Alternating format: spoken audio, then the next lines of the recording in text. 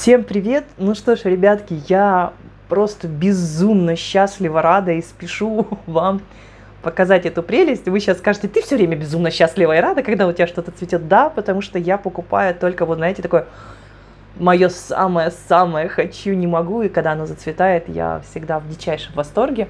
Итак, скептиков и нелюбителей белых орхидей, и всех вот тех, которые ой, ну чем она отличается, ну чем же она отличается от обычной белой гибридятины из любого строительного магазина.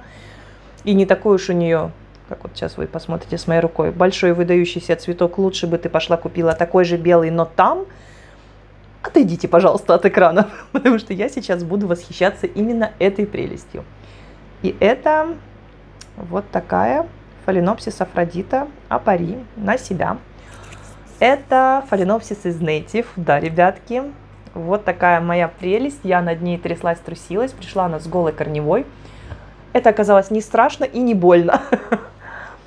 Я в диком восторге. Единственные есть небольшие недочеты. Немножко искривлен у меня верхний лепесток в паре цветков. Но э, с учетом того, что несмотря на долгий переезд, на смену условий, и вот на все-все вот это она все равно процвела.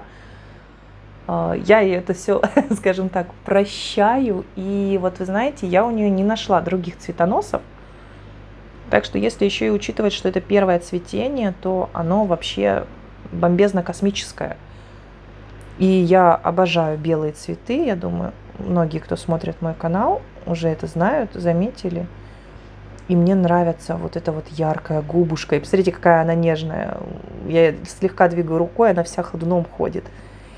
И вот, честно, сижу и восхищаюсь и желтыми подпалами, и вот этой вот розовой штриховкой, и этот леопардовый краб. И калус, если вы заметите, есть места, где он практически белый, бледный, и дальше переходит в насыщенный, вот там вот у основания губы практически оранжевый. Ну и, конечно же, губа с этими усищами просто сказочно волшебная. Я, я не могу, я в восторге, я хочу ее рисовать и рисовать. И лепесток, видите, нежный, полупрозрачный, видно вот всю вот эту рюшистость небольшую. Ну, просто сказочные, сказочные цветы. Ждет меня еще вот распуск бутонов. Я в дичайшем восторге. Куртинка сама скромненькая. Вот такая. Зато не скромненький у нее корешища не раста... нарастают. Ее уже неудобно доставать для съемки, потому что они упираются в стол, когда ставишь горшочек на стол.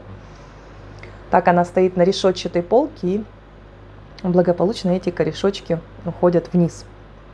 Так, ух ты, я вот заметила, у меня вот тут новое движение. А, непонятно, это будет еще один цветонос или детка. Ну, мне кажется, что, наверное, не будет, хотя... Хотя, может, что-то и будет. Давайте не будем. Так вот, прям категоричными.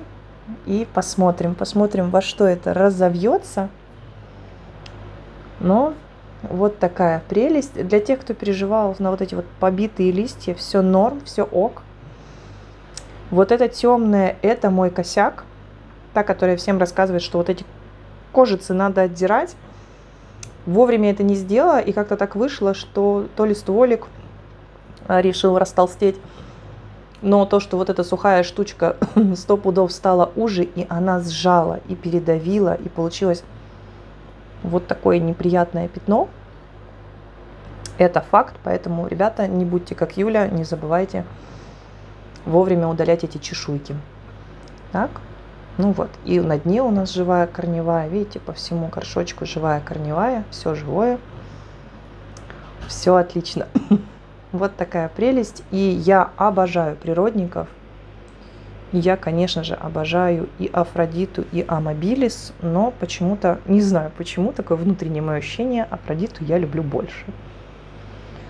Ну, вот такая прелесть, я дождалась. Теперь я надеюсь это все хорошенечко разрастить и уже увидеть целые каскады цветоносов, цветов, шикарное цветение, на которые способны эти фаленопсисы безумной красоты. По уходу все стандартно, все как я всегда ращу свои фаленопсисы в оранжерейке теплички. Постоянно контролируемые условия, постоянное движение воздуха. Влажность, ребят, вот все говорят, ну у тебя же в тепличке, у тебя там влажность. О, нет. А, влажность обычно там, ну давайте так, она растет не прям в оранжерейке теплички, вот та, которая домиком, а вот то, что было орхидариумом в стеклянном. Там у меня влажность пониже, и иногда она там бывает и 40, но обычно где-то 50, а уже в оранжерейках, тепличках обычно где-то 60. Да, ну бывает там уже 70, и после полива там вообще зашкаливает. Но я стараюсь не держать прям сильно-сильно влажно. Почему не стараюсь, не знаю. Ну, такое мое почему-то мироощущение. Вот. Полив, просохла, полила, просохла, полила, поддончика нету, водичка спокойно стекает. А, вниз на дно орхидариума, дна орхидариума ни одни фаленопсисы не касаются. Поэтому водички у меня там никто не стоит. По удобрениям мой стандартный набор, кому интересно, есть видео, ссылка будет в инфобоксе. Э, переходите, смотрите. И по этой красоте, наверное, уж все рассказала. У меня просто, честно говоря, слова пропадают. Я готова рассматривать, рассматривать, забыв обо всем. Эту прелесть. Буду с вами уже прощаться. Кому понравилось, ставьте лайки, пишите комментарии, делитесь этим видео со своими друзьями или в орхидейных группах. Я буду очень не против. Переходите в мои соцсети, ссылки будут в инфобоксе. Подписывайтесь на канал, кто не подписался. И на этом все. И всем солнечных дней, пышных цветений. Пока-пока.